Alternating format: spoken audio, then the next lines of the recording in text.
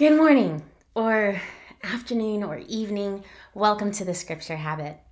Welcome to this space, this resource, uh, community, I whatever we can be for you. Our goal is to help you develop that habit of getting into Scripture every day. It's a life transforming habit. It really is. So we show up because we know sometimes Scripture can be intimidating. Um, so we talk through it together. My name is Rebecca Palmatier. I'm a pastor. I get to be a host here at the Scripture Habit, and I say welcome. And I'm coming a little bit later today. There's veteran celebrations that are happening at my daughter's school, so we had to do that this morning. But excited to be here now to look. Hopefully, we're going to get through the rest of chapter five of the Gospel of John. So, we're going to uh, wait just a second. Hi, Bonnie. Good morning.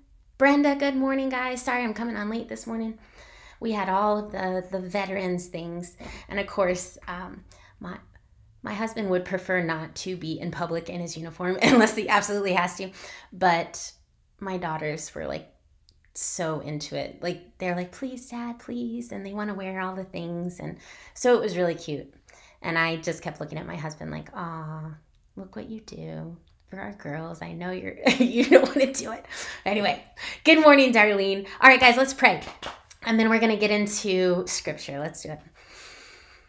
Oh, good morning, God.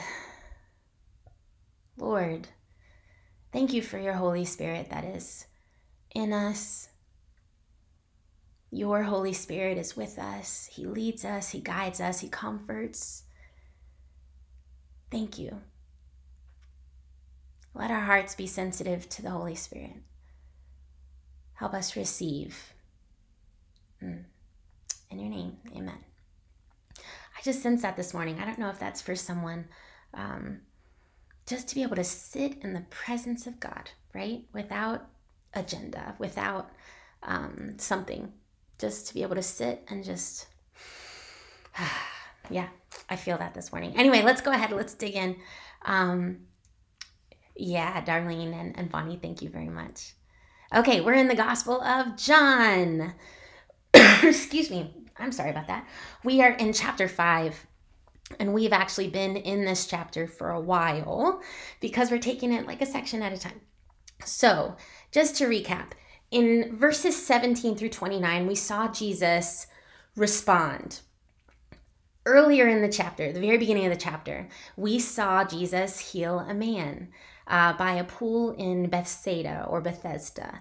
And the complaint that the religious leaders gave the first thing was oh wait a minute you can't be doing any work on the sabbath and and not only did jesus heal someone on the sabbath which they may or may not have been okay with we don't we don't know but they definitely went to the man and was like you can't pick up your mat because that was considered work and the guy was like, Well, the guy that healed me told me to pick up my mat and walk, right? Created this tension between Jesus and the religious leaders. Not a new tension. We've been seeing it come up for a while. Um, but this is Jesus's response to them now because they, have these questions. Oh, you know what? I'm going to skip past the framework. If this was um, how Jesus laid out his identity, uh, how he explained the relationship between the Father and the Son. Uh, I'm going to click through those. I would say look at our last video to see the description. This right here, this is really the the questions or concerns that the uh, Jewish leaders have, and and I would say this makes sense. It makes sense that they would have these questions. All right. So the first one was who has the right, like and and when i put right i'm thinking like this spiritually legal kind of claim enforceable claim. To do any work on the sabbath who would have the right to do that? Why? Because their uh, tradition their their words of taking the uh, rest on the sabbath which was the command that god gave you're not to work. I want you to rest just like god did um, took the seventh day to rest and remember him right they added all sorts of guidelines to make sure that they didn't break that rule. And so now that's kind of accepted, uh, same measure as law, really. And so in their eyes, well, wait a minute, who who has a right that could tell anyone that they could do work on the Sabbath when our tradition tells us that, that God would be dishonored if we did it? Right? First claim. Second thing, who has the authority to heal on the Sabbath? that authority is like this religious, uh, not religious, um, responsibility and um, the power, right, to heal, much less on the Sabbath. And then this last question so, this was the second half of Jesus's interaction with the man that he healed, as he told him his sins were forgiven, right? Who has the jurisdiction to forgive or pardon sins. When i when i say jurisdiction these are all kind of like legal terms aren't they? Right authority jurisdiction. But in their eyes that is how we are supposed to navigate god's law right? So jurisdiction is this legal authority who has this like purview who can make legal decisions or judgments especially when it comes to forgiving or pardoning sin.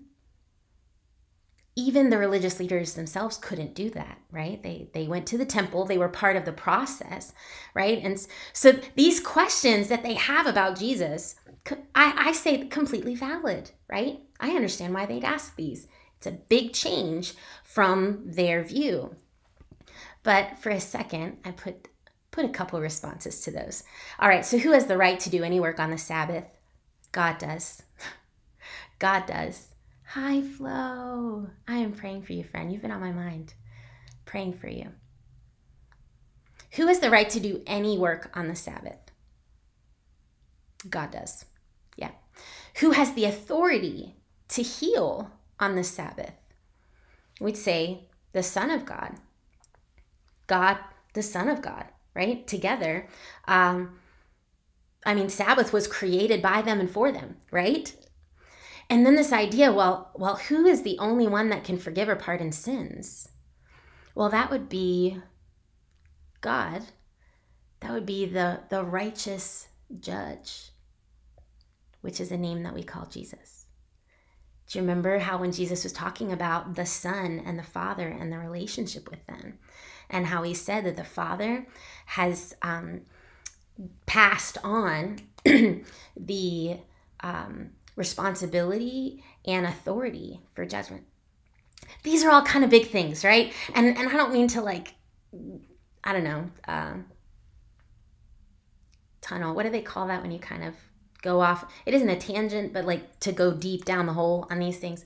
But I want to point out, just so that you and I could feel together and recognize why they would why they would be asking these questions, why they would feel such a confusion or uncertainty because this is pushing the things that they believe that they've come to embrace and know their perspective of God and his word. It's being challenged. Yeah. Okay. Let's keep going. Er, there we go. Starting in verse 30, Jesus says this I can do nothing on my own. I judge only as I hear, and my judgment is just because I do not seek my own will, but the will of him who sent me. Jesus says here, his only job, his only focus is as the Son of God, means the representative right there in the flesh of God, but it's not him coming to do his own will. Jesus didn't come and be like, okay, everybody praise me. I'm going to take the role of, of this king and everyone will bow down. Which, I mean, you'd think the Son of God could have that right, right? But Jesus didn't do that. He's like, listen, I'm about my Father's business. I will only do what He tells me to do, right? I loved this quote. The son who defers in all things to the Father is not likely to act independently of him in supremely critical issues of authority. When the son continues to submit, uh, and, and picture just a father son relationship, perhaps the son is, is learning the father's business, right? In, in our sense and understanding. Rather than a son just trying to force his own way, Jesus is clearly continuing to say, I am only about the work of my Father. And that's comforting. Here we go. In the last section of chapter 5, um, we're going to go through it a little, I don't want to say quick, but I want us to get through it today. Jesus brings up four witnesses that are testimonies to who he is. And it's going to have this imagery of a legal trial to it, okay? he is speaking in response. And, and I want you to remember why would Jesus perhaps use this imagery of uh, legal right, standing, claim, jurisdiction? Why? Well, because those are kind of the questions that they're after answers for, right? They want they want answers, really. What on earth gives this guy the right?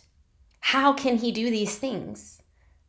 So Jesus responds, four witnesses. We're going to count them out together and we're going to talk through what Jesus is saying. You ready? Okay. Verse 31. He says, If I testify about myself, my testimony is not true.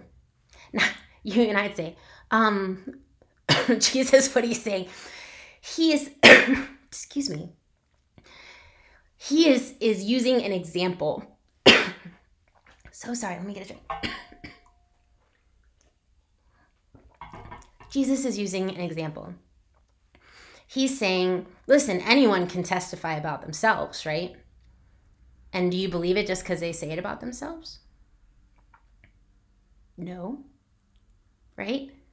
Uh, if we're thinking of witnesses, someone gets on the stand, right, to defend themselves do you think that people take their word as heavily as they do evidence or witnesses?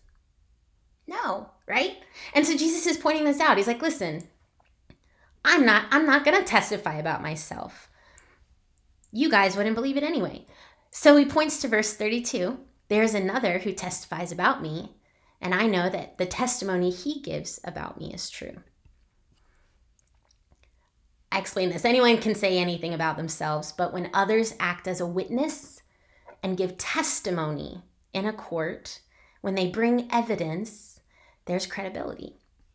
So Jesus now is bringing up four witnesses. Very first one, verse 33. You sent messengers to John, and he testified the truth. John the Baptist. John the Baptist is the first one, right? I love how um, how he describes it, especially verse 35. So Jesus in verse 34 says, I don't receive human testimony, but I say these things so that you may be saved. When he's that phrasing, I don't receive human testimony, what he's saying is, I don't depend on it. Like, listen, this isn't for me, this is for you. So you can see these four witnesses. I'm sharing them with you so you see. I don't depend on it, right? Okay, he says in verse 35 John was a burning and shining lamp, and you were willing to rejoice for a while in his light. But I have a greater testimony than John's because of the works that the Father has given me to accomplish. That's witness number two. So the first thing he pointed out was John the Baptist. And he's like, listen, you guys liked him for a while. you liked him and respected him for a while until until he spoke about me and then you started to reject him, right? But he's like, he's a, he's a witness. Witness number two, the work that I'm doing. He's Jesus says there, the works that God has given me to accomplish. These very works I am doing testify about me that the Father has sent me. Okay. If you were in the crowd and you were watching Jesus perform miracles, and you were listening to his teaching, and you were marveling, right? Those things speak to you. Your, your own account speaks to you, right? And he's saying, listen, the works that I did, I just healed a man. Is that not a testimony to you? Is that not like a witness giving an account? The works that I'm doing. Those are a testimony. That's number two. Hi, Joanna. Good morning. Verse 37, he continues, and Jesus says, The Father who sent me has himself testified about me. So that's witness number three. The Father, God Himself. Now, um, there's a, there's a few thoughts about this one because um, some point to uh, thinking back when God spoke from the heavens, right? When Jesus was baptized, saying, This is my son, in him I am well pleased, right? That could be the testimony that Jesus was referring to. Uh, but there is more to it. The uh, Faith Life Study Bible says the current generation of God's people knew God only through the tradition and teaching of their ancestors, not in their own experience that speaks to the second half of this verse. So he says, God is, is a witness, right? God himself has spoken, has testified on my behalf. But then Jesus said, But you haven't heard his voice at any time, and you haven't seen his form. So God has been speaking, but you're not recognizing that it's him. Can I pause for a minute? I feel like I need to pause on that. How many times in your life have you been working through something and in the moment you did not see or recognize what God was actually doing for you until you got through it and then you look back and then you can see God there, right? Sometimes our sight is so limited that we're we're not looking for something because it's just not even on our radar. When he says you haven't heard his voice at all, it's not because he isn't speaking, it's because that's off your radar. You you haven't been paying attention. Their relationship with God was based off of their tradition. Verse 38 he continues, you don't have his word residing in you because you don't believe the one he sent. You don't have his word residing in you. The Bible Speaks Today says, by implication, the unseen God has spoken and disclosed himself in the written scriptures. But it's one thing to know words on a page, it's another to have his word residing in you. Jesus is pushing this envelope, isn't he? You don't have his word residing in you. This is starting to create even more of a rub because their whole life and culture has been built around sacred scriptures, hasn't it? Jesus is going to get even more to the point when he's talking. Okay, let's keep going. Are you with me, guys? Are you with me? I know we're kind of going through a, a little bit faster. Verse 39, Jesus continues, and he's talking about again their relationship with Scripture and yet their inability to see or hear God his word, even though they pore over it, it's not in them. Yeah. Verse 39 You pore over the scriptures because you think you have eternal life in them, and yet they testify about me. But you are not willing to come to me so that you may have life. Witness number four. So we had John the Baptist, we had the works that Jesus did, the miracles that they could see with their own eyes, testifying about who he was, God himself, and then scripture. He's saying, you go you look over scripture you read it you you debate it philosophically all the time you have dialogues and questions about implications of god's word and yet you're missing you're missing what god has been pointing to and leading us to in his word you're missing it. He says, You're not willing to come to me to have life. Excuse me. Can you tell we've had coughs in our house? I'm sorry. Okay, this is from, again, the Bible Speaks Today. Jesus concedes that the Jewish leaders diligently study the sacred writings. Yeah, you pore over the scriptures. But their study is unfruitful because the student is not looking for Christ in the scriptures. They haven't been looking for the Messiah in that sense. They've just been memorizing and trying to receive and debate and wrestle with the word that they have, but they missed it. 41, Jesus says, I do not accept glory from people. And that word accept, um, it's not saying that we can't give him glory, but he's saying his glory actually, it isn't like us just praising him. His glory consists of his loving fellowship with God. That's where his glory is. It's in his relationship with God. We don't actually validate him in that sense. God does. Communion with him. He says, But I know you that you have no love for God within you. He says, I know you, but you don't have love for God in you. And I think that would be a slap in the face to any religious leader, don't you think? Can you imagine Jesus saying that, looking them straight in the eye and saying, you know, you've not come, you've not looked at the word, you've not seen what God has been speaking this entire time. You've been looking at it with a different lens and you've been missing this. But in your quest through scripture, you haven't actually developed a love for God.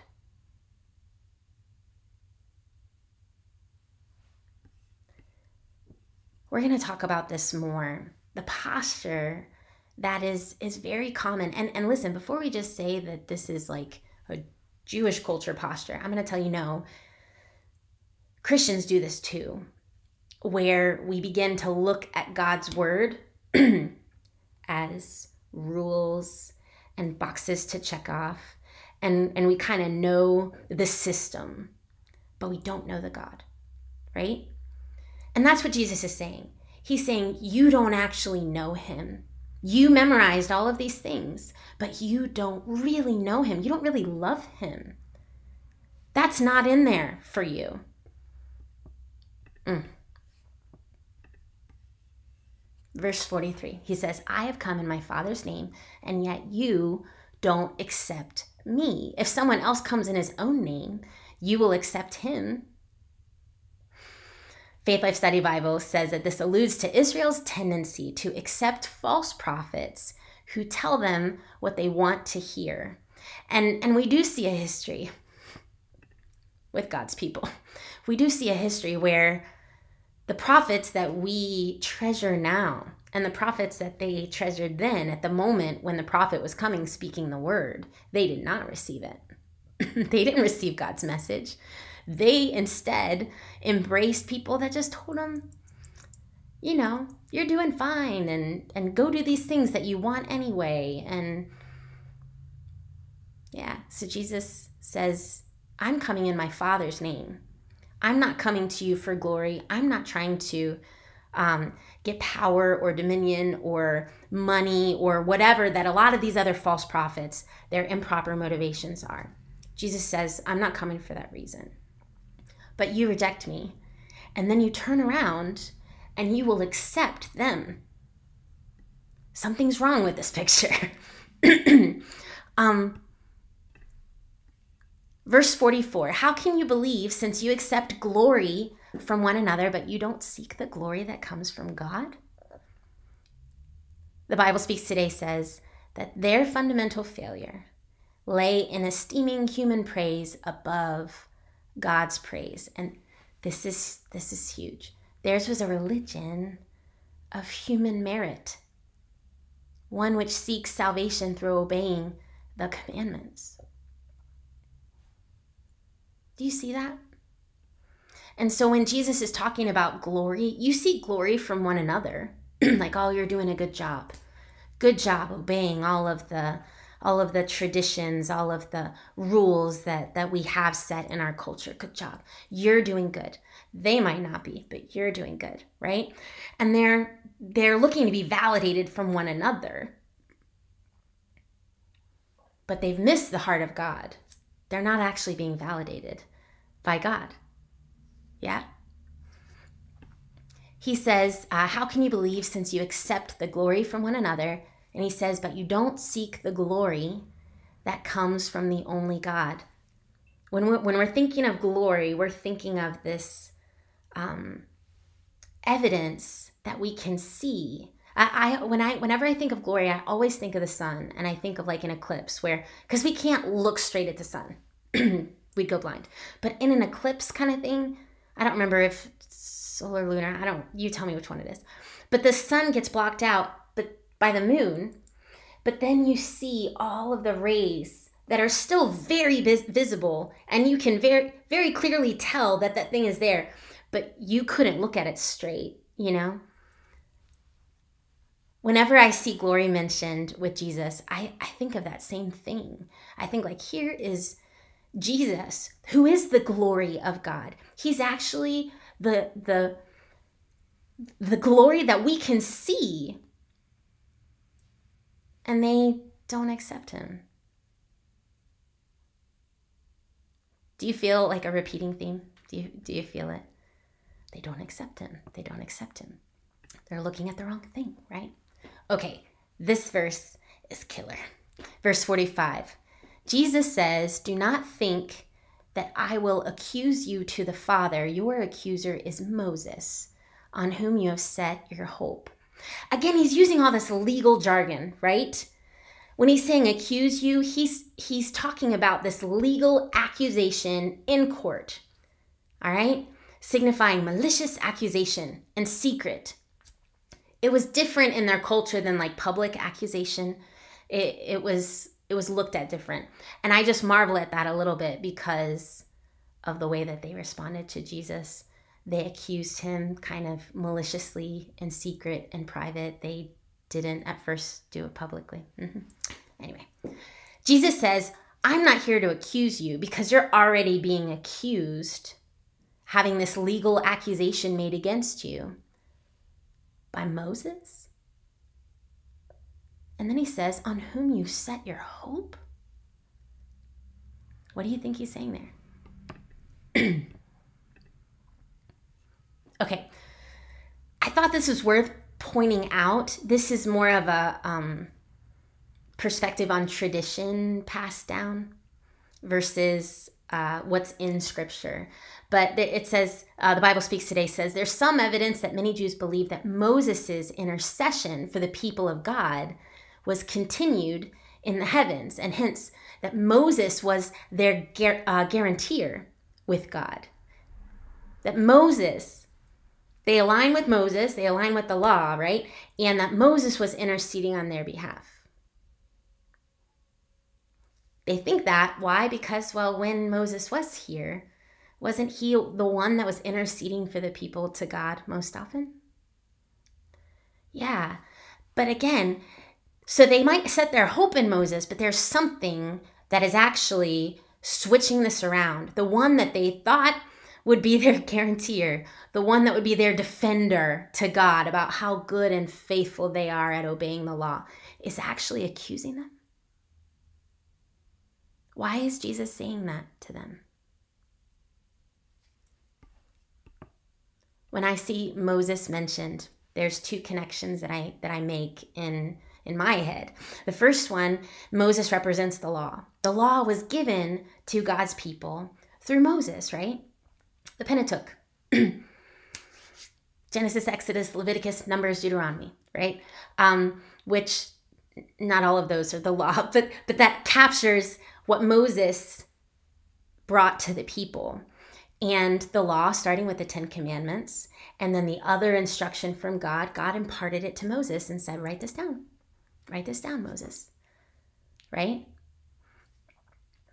Moses also represents what we call the first covenant. Abraham and God had this relationship. I'll be your people, you know, I'll be your God, you'll be my people, right? And from you, all the nations will, will be blessed. With Moses came this covenant that had conditions like you need to obey the law obey my words. And that's how you show that you're my people, right? And they kept breaking it.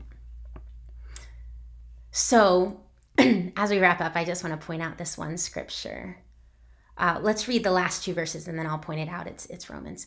For if you believed Moses, you would believe me because he wrote about me. That's interesting.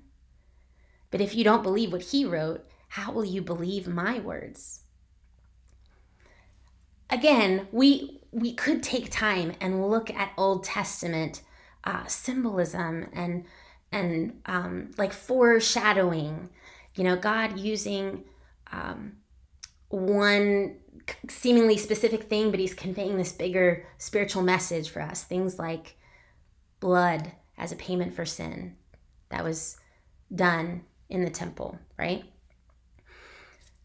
Jesus is actually saying there's a lot in the scripture that points to me, that points to God and this plan for saving his people.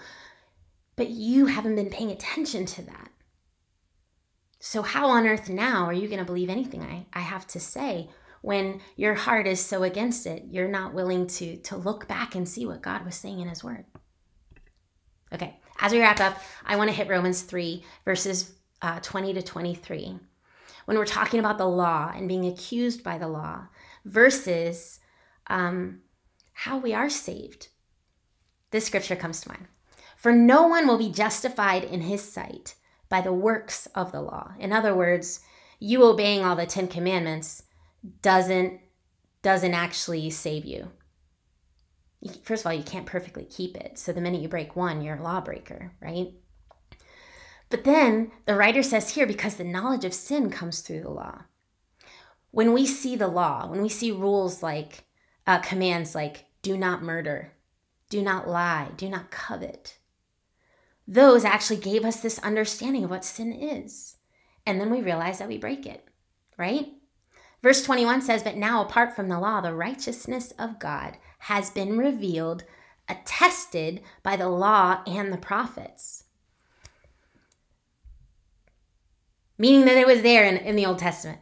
It was there. We don't have time to dig in it now, but it was there. God was speaking and foretelling it, right? that his salvation doesn't come through the law, the law helps you understand sin. Salvation is coming a different way. And verse 22 says, The righteousness of God is through faith in Jesus to all who believe, since there is no distinction, meaning it doesn't matter um, how Jewish you are, or um, it doesn't matter your genealogy or your um, I'm thinking like financial demographics, how much money you have or don't have, like those things that society would use to distinct people into different categories. When it says, since there's no distinction, saying, listen, no matter where you come from, what you have or what you don't have, salvation, being able to be seen as righteous before God despite the fact that you have sinned, that's a gift and it comes through belief in Jesus. Anyone, all who believe in Jesus will be saved. And then verse 23 says, For all have sinned and they fall short of the glory of God. This section was deep stuff. I know it was, and I know we've gone a couple minutes over. But I just want you to catch Jesus' response. What he's saying here is deep. it is it is deep it's like layer upon layer upon layer. And uh, honestly, I don't think I did it justice. But I wanted us to catch since they're asking who has authority, since they're questioning Jesus, like what kind of authority do you have to heal someone or to forgive someone's sins or to tell someone that they can work on the Sabbath? Who are you, right? And so Jesus says, Well, I'm the Son of God, and this is our relationship. And then he talks about legal sense, witnesses, and testimonies that point to who he is. But he also lets them know at the same time. And yet I know your heart is still hard and you're not choosing to believe. You don't want to accept it. But it's here. It's here. Yeah. Let's pray. God, thank you so much for your word. I pray that it would resonate in our heart today. Guide us in all truth, we ask. Thank you for your son. Thank you for the work that he did on our behalf, that we are not we're not saved or made good enough for you because of all the churchy or goody things that we do. We're not we're not made in, in right standing with you because we're a morally good person. Because even even if we try to be good or moral, we still have sin. So we thank you for Jesus.